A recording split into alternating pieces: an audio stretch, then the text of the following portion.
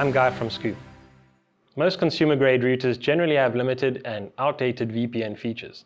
As demand increases for more secure methods of connectivity, it makes sense to choose a brand that offers flexibility. Cudy does this by offering multiple client and server options, including the latest VPN technologies. In this video, we'll show you how to easily implement VPNs on Cudy routers. For this demonstration, we'll be using WireGuard, one of the most secure and high-performance VPN tunnels around. Site-to-site VPNs are popular for businesses which require end-to-end -end connectivity over the internet. In this scenario, we'll demonstrate how this can be achieved with two Cudy routers. Our first step is to set up the server side. After logging into the router via your web browser, go to the General Settings tab at the top of the window and then VPN on the left. Enable the toggle switch and set the protocol to WireGuard Server.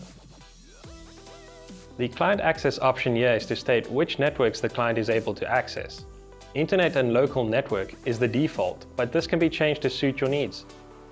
For example, an office might use local network only, so that the VPN connected devices get access only to the local resources. Internet only would be like routing your connection through a private proxy network. The IP address and ports of the VPN server can also be adjusted here if necessary. In our example, we'll stick to the defaults for the simplest configuration. The Client section is where you add or remove client access to the VPN. In the Edit Items window, we can click the Add button to add more client connections or subnets. Once saved, the configurations for clients can be downloaded to easily onboard them. That's all for the server side. Let's take a look at the client side. On our client router, navigate to the VPN page, but this time we'll select WireGuard Client, which provides a different set of options. Default rule states which devices can access the VPN network, either allowing or banning all devices. This can be changed per device in another window, but we'll show you how later in this video.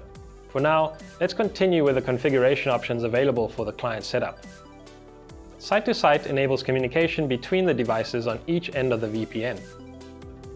VPN policy determines how the client resources travel across the tunnel. In the drop-down menu, there are three options. This turns off the internet when the VPN connection is lost.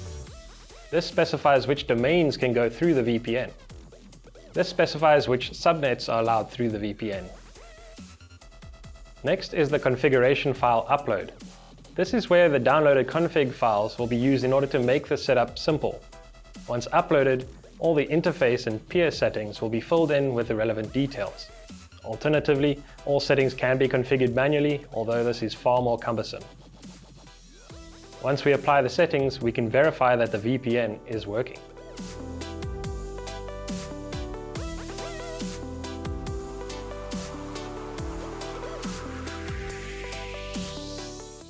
This is a common setup for anyone wanting to access the LAN resource remotely while on the move. It also ensures that all traffic from your mobile device is encrypted.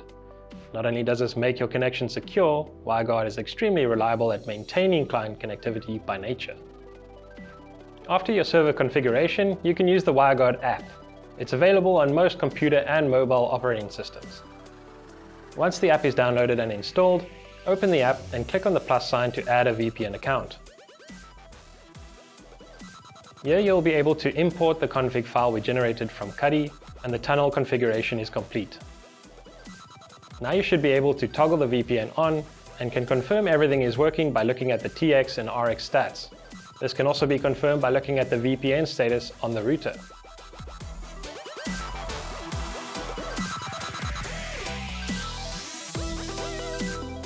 In this example, we'll configure the Cudy to use WireGuard with a third-party VPN service. This is useful if you prefer to run the VPN client on your router instead of specific devices. Cudy also allows you to route specific clients via the tunnel, preventing the need for third-party apps. In our example, we'll be using Surfshark since they support the WireGuard protocol. Once logged into your account, go to VPN, select Manual Setup, then select the router option under the Setup Methods. On the right, select WireGuard. In order for the tunnel config to work, we need to ensure that we have a key pair. If you already have one, you can click the I have a key pair button and complete the prompts. For this demonstration, we'll be generating a new key pair. click the I don't have a key pair button. Create a name for the key pair. Then click the Generate button. Save the keys somewhere safe in case you need to use them again in the future. Note that you won't be able to view them again after moving to another window. In the next step, these details will be automatically added to the config. Go to the Locations tab and select a server location. Once again, it's just a matter of downloading the config file, which we'll import to the Cudy router. Navigate to the General Settings tab at the top of the window, then to VPN on the left.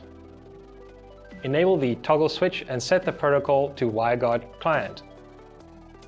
Now we just need to upload our config file from earlier, followed by save and apply. You should check the system status to see if the VPN connection is successful. At this point, all internet traffic is routed over the VPN. However, it's possible to select devices which should exclusively use the VPN service while other traffic gets routed directly through your ISP. To select which devices make use of the VPN, click on More Details in the Devices box, select Devices, and there you can toggle the VPN switch for each client. Easy.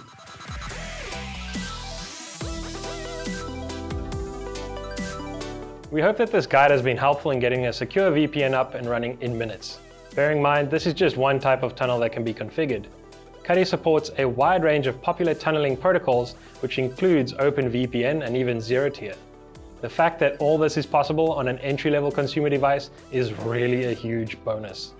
As always, please like and subscribe and tell us in the comments how your setup worked out. Let us know what you'd like to see from us next, and thank you for watching. I'm Guy from Scoop.